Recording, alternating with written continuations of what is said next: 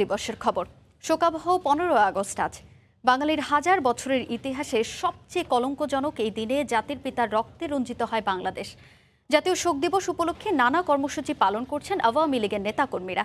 এই মুহূর্তে চট্টগ্রামের দামপাড়ায় আছেন রিপোর্টার পার্থ প্রতিম বিশ্বাস, বরিশালের সোহেল চত্বরে আছেন রিপোর্টার অপূর্ব অপু এবং রাজশাহীর লক্ষ্মীপুরে আছেন রিপোর্টার শাহিন আলম। প্রথমেই যাচ্ছি পার্থর কাছে। জাতির পিতা বঙ্গবন্ধু শেখ মুজিবুর রহমানের শাহাদাত বার্ষিকী ও জাতীয় শোক দিবস উপলক্ষে চট্টগ্রামের দামপাড়া, চট্টগ্রাম মেট্রোপলিটন পুলিশ লাইনের পক্ষ থেকে কিন্তু আমরা দেখছি চট্টগ্রামে কিন্তু মোমবাতি প্রজ্বলন কর্মসূচির আয়োজন করা হয়েছে। ঠিক বারোটা এক মিনিটে এই জায়গাটিতে আমরা দেখছি জাতির পিতার প্রতিকৃতির সামনে কিন্তু মোমবাতি প্রজ্বলনের শাহাদাত বার্ষিকী শাহাদাত বার্ষিকী উপলক্ষে যথাযোগ্য মর্যাদায় বরিশালে বারোটা এক মিনিটে নগরীর সোহেল চত্বরে আওয়ামী লীগের দলীয় কার্যালয়ের ঠিক সামনেই জাতির জনক বঙ্গবন্ধু শেখ মুজিবুর রহমানের প্রতিকৃতিতে এখানে পুষ্পমাল্য অর্পণ করেছে আওয়ামী লীগের নেতা কর্মীরা ঠিক এই মুহূর্তে এখানে পুষ্পমাল্য অর্পণ প্রক্রিয়া চলছে।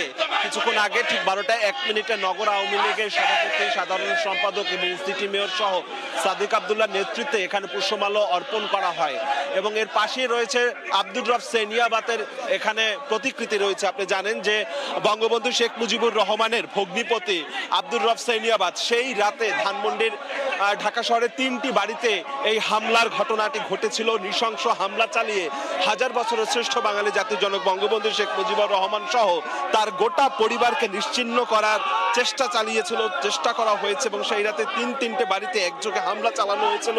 বরিশালের মানুষ, বরিশালবাসী ভিন্নভাবে এই দিনটিকে তারা কিন্তু যথাযোগ্য মর্যাদার মধ্য দিয়ে দিনটিকে স্মরণ করে। কেননা সেই রাতে বরিশালেরই নেতা কৃষক কোলের নয়নমণি বলা হয় তাকে। আব্দুর রফ সেনিয়াবা তার বাড়ি বরিশাল এবং বঙ্গবন্ধুর তিনি ভগ্নিপতি ছিলেন। তার বাড়িতে সেই রাতে কিন্তু তৎকালীন কৃষিমন্ত্রী তিনি ছিলেন। তার বাড়িতে হামলা হয়েছিল এবং সেই রাতে বরিশালের বেশ কয়েকজন কিন্তু শিল্পীরা সেই বাড়িতে উপস্থিত ছিল এবং তারা গুলিবিদ্ধ অবস্থায় তারা রাত সাক্ষী হয়েছেন এবং তাদেরকে শ্রদ্ধা ভরে স্মরণ করতেই আওয়ামী লীগের বিভিন্ন পর্যায়ের নেতাকর্মীরা বারোটা এক মিনিটে এখানে কিন্তু জড়ো হয়েছে এবং দেখছেন যে আসলে মানুষের রীতিমতো ঢল নেমেছে আওয়ামী লীগের তিরিশটি ওয়ার্ডের নেতাকর্মীরা খণ্ড খণ্ড মিছিল নিয়ে, ফুল নিয়ে তারা কিন্তু আসলে এখানে হাজির হয়েছে। এখানে বঙ্গবন্ধুর প্রতিকৃতি রয়েছে, তার পাশেই শহীদ আব্দুর রব সেনিয়াবাদ সেনিয়াবাতের প্রতিকৃতি রয়েছে। সেই প্রতিকৃতিতে আলাদা আলাদা ভাবে কিন্তু এখানে পুষ্পমাল্য অর্পণ করছে এক এক করে। এখানে দীর্ঘ কিন্তু লাইন হয়ে গিয়েছে বিভিন্ন ওয়ার্ডের। অর্থাৎ বরিশালের, নগরীর যে তিরিশটি ওয়ার্ড রয়েছে, সেই তিরিশটি ওয়ার্ডের আওয়ামী লীগের নেতাকর্মীর বাইরেও এখানে আওয়ামী লীগের অঙ্গ এবং ভাতৃপ্রতিম যে সংগঠনগুলো রয়েছে, সেই সমস্ত সংগঠনের নেতাকর্মীরাও কিন্তু এখানে রয়েছে। আর একটি বিষয় আমরা জানিয়ে রাখি, সেই কালো রাতে কিন্তু বেশ কয়েকজনই কিন্তু গুলিবিদ্ধ হয়েছিল। গুলিবিদ্ধ হয়েছিল, বিশেষ করে বরিশালের নবনির্বাচিত যে সিটি মেয়র খোকন সেনিয়াবাদ তিনিও কিন্তু সেই রাতে গুলিবিদ্ধ হয়েছিল। তিনি বরিশালে বর্তমানে সিটি মেয়রের দায়িত্ব নিয়েছেন এবং তার পরিবারের অনেকেই কিন্তু গুলিবিদ্ধ অবস্থায় সেই ঘটনার এখনও বহন করে নিয়ে বেড়াচ্ছেন।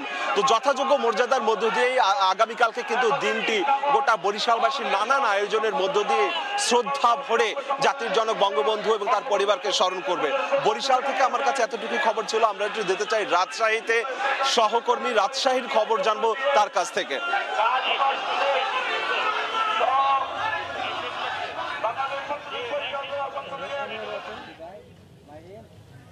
জাতির পিতা বঙ্গবন্ধু শেখ মুজিবুর রহমানের শাহাদাত বার্ষিকী উপলক্ষে এবং জাতীয় শোক দিবস উপলক্ষে রাজশাহীর সিএনবি মোড়ে জড়ো হয়েছেন আওয়ামী লীগের নেতাকর্মীরা। আমরা এখন এই মুহূর্তে এই জায়গাটিতে অবস্থান করছি। নেতাকর্মীরা কিছুক্ষণ আগে লক্ষ্মীপুর মোড়ে অবস্থান করছি। এই মুহূর্তে কিছুক্ষণ আগে নেতাকর্মীরা এখানে দাঁড়িয়ে শপথ বাক্য পাঠ করেন।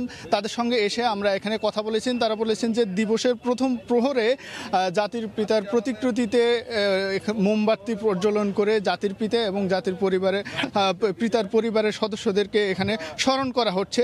এ সময় যারা উপস্থিত নেতাকর্মীরা রয়েছেন তারা কিন্তু বিভিন্ন স্লোগান দিতে থাকেন। তারা বলছেন যে দেশের আহ, দেশবিরোধী যারা অপশক্তি রয়েছেন তাদেরকে বিনাশে জাতির পিতা যে মারা যাওয়ার শোককে শক্তিতে রূপান্তর করে দেশকে এগিয়ে যাওয়ার লক্ষ্যে কিন্তু এখানে শপথ বাক্য পাঠ করানো হয়েছে। এছাড়া আমরা দেখেছি এখানে এখন এক মিনিট নীরবতা পালন শেষে মোমবাতি যে মোমবাতি প্রজ্বলন সে কর্মসূচিটি কিন্তু এই মুহূর্তে শুরু হচ্ছে।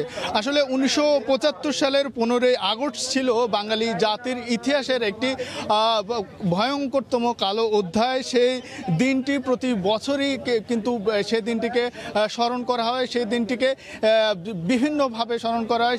সেটি রাজশাহী সহ সারা দেশেই কিন্তু সেটিকে স্মরণ করা হচ্ছে। আজকে রাতের নেই, কালকে দিনেও কিন্তু নানা কর্মসূচি মহানগর আওয়ামী লীগ সহ, জেলা আওয়ামী লীগ সহ বিভিন্ন প্রশাসনেরও প্রোগ্রাম রয়েছে। তো এ ছিল আমার কাছে রাজশাহী থেকে সর্বশেষ।